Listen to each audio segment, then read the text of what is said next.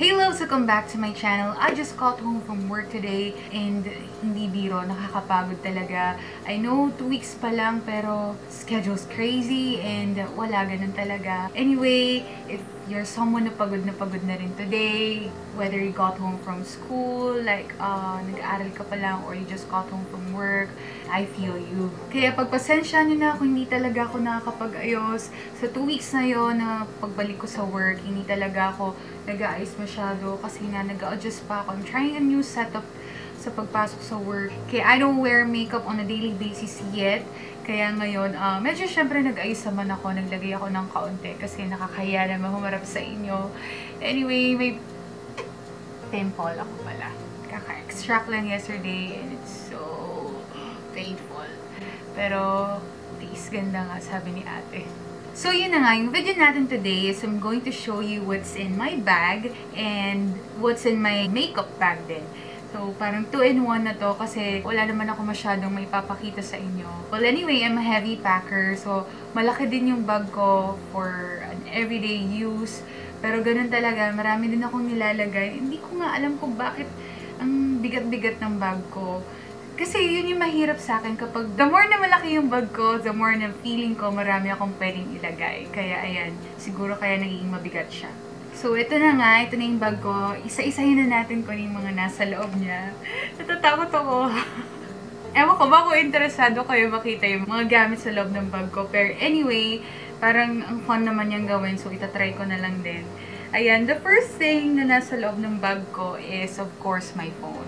Ewan ko ba, yung case ko, ito, sobrang tagal na nito sa akin na parang uh, one year na yata, one year na hindi ko pinapalitan yung case ko and sobrang sira-sira na yung mga gilid niya. So, ganyan-ganyan na siya. Pero I really like it kasi uh, gusto ko yung mga case sa ganito, yung mga, ano tawag dito? Oh no, hindi ko alam kung ano to. Basta yung hindi madumi masyado or kung dumumi man siya, hindi halatang madumi na. Glow in the dark din pala to, so nag-glow tong design na to kapag ka madilim. Blue yung case ko and blue rin yung bag ko, but my favorite color is not blue, ewan ko ba, pero I really like it. Parang it goes well with any color na suot mo, so okay lang naman. The next thing inside my bag is my eyeglasses. So, I use this, especially pag nasa work ako. Gusto ko nga sana suotin ngayon kasi nga sobrang sakit ng mata ko. Every after work talagang, yun, nagkaka-headache ako. I don't know why, siguro sobrang uh, tutok din sa computer and kakabasa or kaka-check. So, siguro kaya lalo sumasakit yung mata ko. And, ayun, so I keep this in my bag. I don't wear it uh, on a daily basis or yung parang hindi ko na talaga siya tinatanggal. I just wear it kapag ka I needed it especially kapag ka yung long exposure sa computers or magbabasa ako na masyadong marami, mag-check ako. So, I really have to wear my glasses. Ang next naman ngayon ay yung ID ko. Ayan, I can show it to you. So, ID. Then, I have my spare key. Uh, binigay ito sa akin ni Papa in case na hindi gumana yung car key ko. Kasi one time, story time lang, one time kasi uh, kasama ko yung mga kapatid ko noon and we went somewhere else. Tapos, nung, edi syempre, open mo na yung car mo. So, pinapress ko yung button, pero hindi siya nag-respond. So, hindi siya nag-open kahit i-click ko, i-click ko yung button. So, ilang beses na ako, hindi ko na alam yung gagawin ko. So, tinry kong i-open yung door. Kaso, hindi, hindi, hindi rin siya nabubuksan. Sobrang nag-freak out ako, buti na lang may kasama ako. Kaya nung sinabi ko kay Papa, pinadala niya ako ng spare key. In case na hindi or humina yung battery ng isa kong car key. Tapos, meron din ako ditong isang hair tie. So, manipis lang siya. And it's color pastel pink to. Yan. I think every girl has a hair tie inside their bag. Oh no, meron pa pala ako neto. I also have like stevia packets. I used to drink a lot of coffee before, pero uh, nagka-problema ako sa chan, like acute gastritis. So, I can't drink coffee anymore. Maybe I can, pero very seldom na lang kasi nga iniingatan ko rin ayokong lumalayo yung gastritis. Kasi mahirap yon. Anyway, uh, I used to have this in my bag. Well, I substitute stevia with sugar. So, hindi ako nag-white sugar or brown sugar. So, ito yung ginagamit ko. It has zero calories. Then, I have my purse, of course, my wallet. Siyempre, hindi ko na mapakita yung laman ng wallet ko, di ba? Matagal na matagal na sa akin to. I think high school pa lang ako, ito na yung wallet ko. I remember si mama sabi sa akin noon, kapag kaswerte ka daw or dumadami yung pera mo sa wallet na yun, huwag mong papalitan. I don't know, pero hindi naman ako naniniwala fully doon. Pero wala lang, nakasanayan ko na lang. And I like the color kasi. Ang hindi-hindi mawawala sa bag ko ay ang um, toothbrush ko and toothpaste, of course, and some floss. I wear braces. I can't not have a toothbrush inside my bag. Alam niyo, ito yung reason why kung bakit hindi ako pwedeng hindi magdala ng bag when I go out kasi ang dami-dami kong kailangang bitbitin or marami akong kailangan na hindi ko pwedeng iwan. So, ayoko namang mahirapan ako na bitbitin ko sila with my hands lang, tapos aalis ako.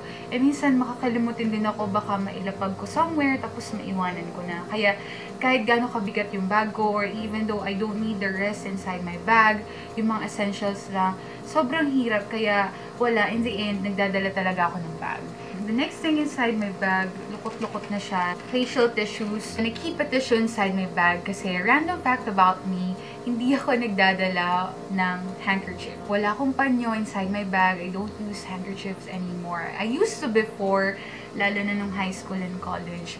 Pero I figured out as I grow up na I don't need handkerchiefs kasi mas gusto ko yung tissue, mas gusto ko disposable. kasi kilaway ko. Mas gusto ko tissue kasi mas disposable siya. So, ang handkerchief naman kasi ginagamit ko to wipe like my mouth, or if oily yung face ko, yun yung mga use ng handkerchief sa akin. So, na-discover ko na pwede naman tissue na lang. So, mas hygienic pa kasi na-dispose mo lang siya. Ayun, kaya tissue na lang. Also, hindi lang tissue ang meron sa bag ko. Meron din akong wet tissues. So, mga wet wipes. I have to have this in my bag kasi this is very essential for me. Hindi talaga ito mawawalan. Mag-freak out ako kapag wala na akong wet tissue. And kapag ka mauubos na siya, talagang pumupunta na ako sa Watson's or sa grocery store. Nag-replenish na agad ako kasi nga hindi ako pwedeng mawala ng wet tissue sa bag baka hinihintay niyo yung makeup bag ko. Mamaya, ihuhuli ko na yan kasi medyo marami siyang laman sa loob. So, baka magtagal tayo. So, tapusin ko muna yung sa uh, the rest of my bag. So, meron din ako dito sanitary pads. Meron ulit ako isang hair tie. So, ito naman with yellow bow. Wala, cute lang. So, pag feeling ko gusto ko mag-bow, kahit ang tanda-tanda ko na, nagbo-bow pa rin ako for real. Nagbo-bow ako hair tie. Then, I also have face mask. Okay? Carl and I have each of these inside our bags kasi ayun, kapag ka minsan yung lumalabas kami, pupunta kami sa somewhere public, not naman na we want to keep ourselves private so much na ay namin pakita yung faces namin. Hindi naman, uh, yun nga kapag ka medyo crowded, uh, nag-face mask kami. Or minsan kapag ka nagko-commute, nag-face mask din kami. Yun lang, so to protect ourselves din. Kung sana nanonood pa kayo, baka naboboard na kayo. Pero kung nanonood pa kayo until this part, thank you! Next thing I got inside my bag is my key. So, key ko to sa work ko, sa drawer ko. Kinikip ko lang din dito sa bag. Ewan ko ba, nakahiwalay ito sa makeup bag ko kasi oh no, I hate to admit, pero this is real. This is really what I do. So, whenever I drive, I used to grab these two things. Pero I encourage you not to try this, okay? Don't, do not risk your lives, okay? Huwag niyo akong gayahin. Kapag masyado talaga ako nagmamadali and feeling ko kapos na ako sa oras, malilate na ako sa work, and I can't go to work looking not presentable. So, I used to grab these things So, yung isa, yung lip balm ko, nakaseparate siya sa makeup bag kasi lagi ko siyang kinukuha. And the reason why iniwalay ko siya sa makeup bag kasi masyadong ano, mahirapan akong kunin siya sa makeup bag kasi sobrang daming laman ng makeup bag ko. Kaya sineseparate ko siya para ma-distinguish ko talaga na, ah, ito yung lip balm ko. Kaya nakahiwalay siya. Ayun, lagi ako nagli-lip balm everyday kasi dry lips ko. And then, uh, separate lipstick, ito lang ay isang Sunny's Face fluff mats in the shade Milkshake. We have four more items before we proceed to our makeup bag. Ayan, yung next naman ay uh, just a pen.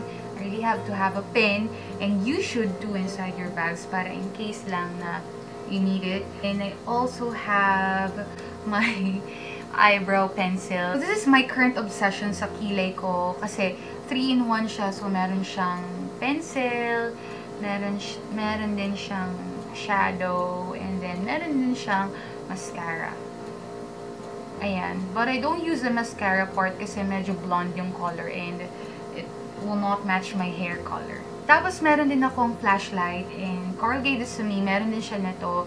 And I think it's good to have one para in case of emergency, hindi nyo naman masasabi. So, keep a flashlight inside your bags. And then the last item before makeup bag is eyeglass cleaner. Ayan, meron ako. So, ginagamit ko to. Meron pa palang isa. So, I also have my charger with me, phone charger. Punta na tayo sa makeup bag and surprisingly blue din siya. I'm a type of girl na sobrang daming laman ng makeup bag. And kahit hindi ko naman siya kailangan on a daily basis, nandun pa rin siya. Kasi feeling ko, one day kailangan ko siya or mamaya may bigla ang lakad or may kailangan akong i-meet. Inisip ko, kailangan meron akong mga enough makeup inside my kit to make maybe a full face of makeup. Pero hindi naman actually ito pang full face. Ito lang talaga yung feeling ko magagamit ko at its maximum level. Unang-una, yung face powder ko. This is a Maybelline Fit Me powder. I'm in the shade 128 Warm. And I also have my EB Advance Blush Duo in the shade Summer Flame. Ang ginagamit ko lang actually dito is yung blush. Ito talaga. Uh, this one. May isa na naman akong blush. This is from Ashley Shine. Murang-mura lang to. This is 68 pesos.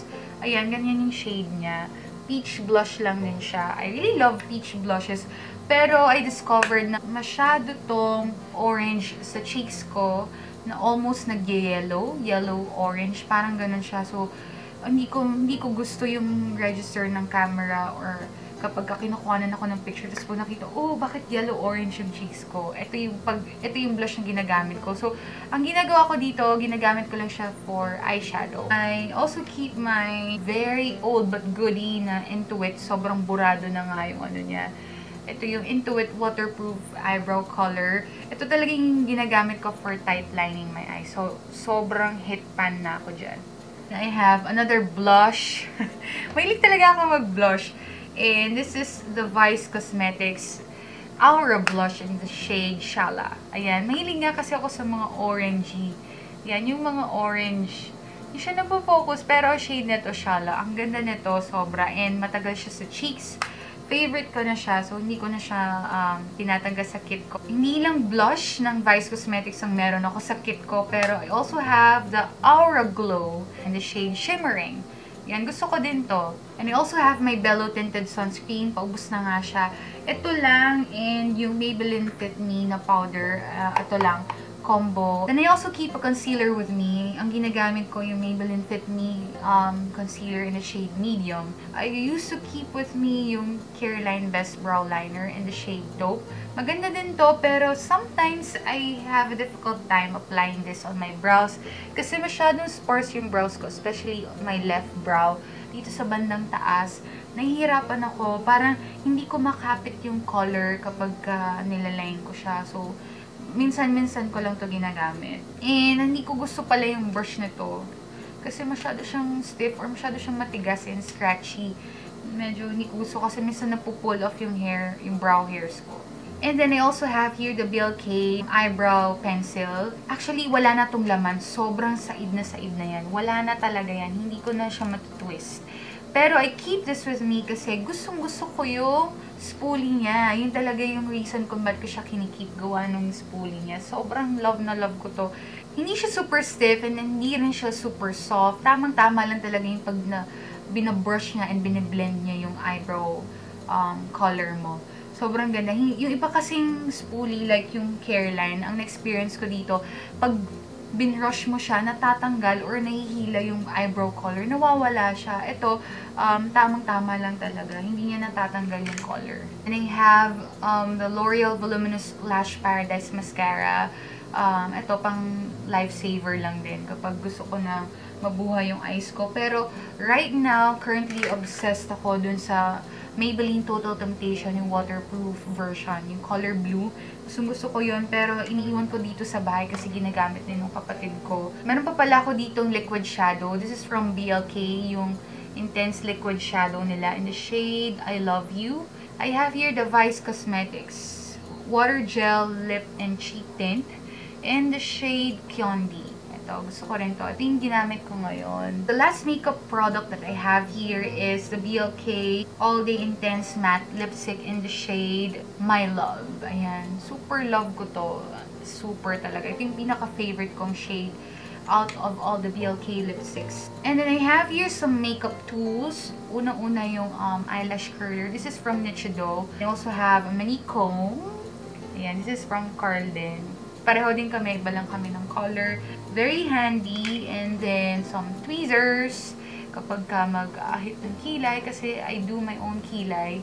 Hindi ako nagpapa-thread or nagpapa-pluck ng eyebrows kung kanino. Just me.